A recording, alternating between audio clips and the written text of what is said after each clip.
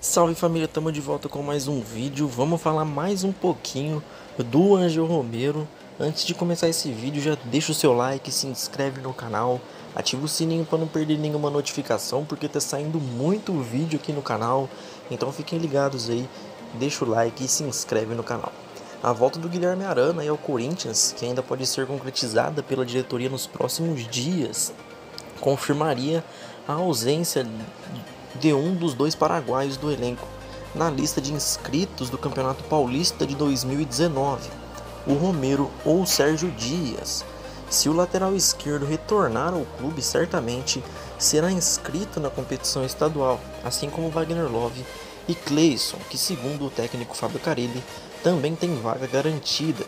O timão então chegaria a 25 vagas preenchidas, restando apenas uma, e com isso o Romero e o Sérgio Dias passariam a ter apenas uma vaga à disposição. A situação do primeiro ídolo da Fiel é complicada. A chance de uma reviravolta em sua renovação é considerada internamente bastante remota. O segundo, por sua vez, segue sua rotina nos treinos, isso sem falar na possibilidade de Kaique França, René Júnior e Marquinhos serem inscritos nessa 26 vaga da lista do estadual, ou até mesmo a chegada de mais algum reforço, algo que tem pouca chance de acontecer. Assim, os dois paraguaios ficariam de fora do campeonato. A situação do Arana deve ser definida apenas em 1 de fevereiro, dia seguinte ao fechamento da janela de transferências europeia. A data limite para fechar a lista dos inscritos na primeira fase do Paulistão será encerrada no dia 1 de março. Com tempo, com tanto tempo pela frente, aí o Carilli deve optar por deixar essa 26ª vaga para ser preenchida nos últimos dias de fevereiro, ganhando tempo para definir entre Romero, Sérgio Dias, Kaique França, René Júnior e Marquinhos.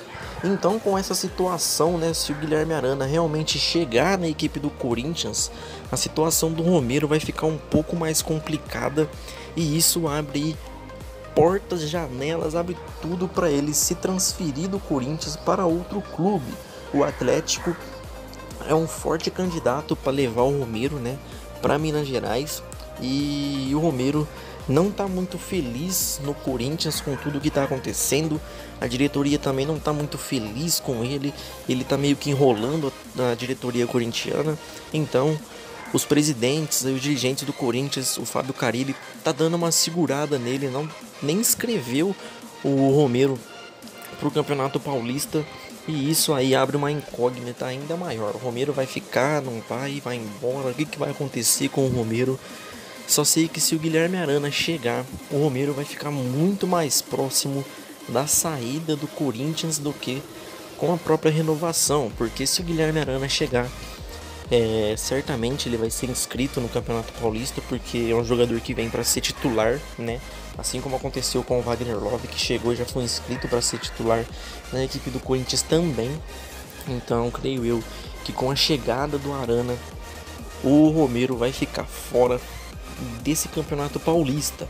E isso abriria as portas, aí, como eu disse, para ele fechar com qualquer outro clube. O Atlético é um forte candidato a levar o Romero nos próximos dias, né?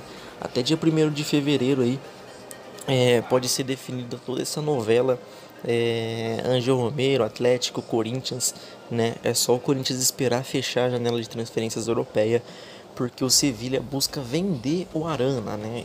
Caso isso não ocorra, caso não aconteça essa venda do Arana, o Sevilha topou negociar o Arana aí com o Corinthians por empréstimo. Então, o Corinthians está meio que esperando, né? Caso dê certo com o Arana, é, ele vai ser inscrito aí na, no Paulistão e vai acabar aí as vagas na equipe do Corinthians, né? Porque são apenas 26 jogadores.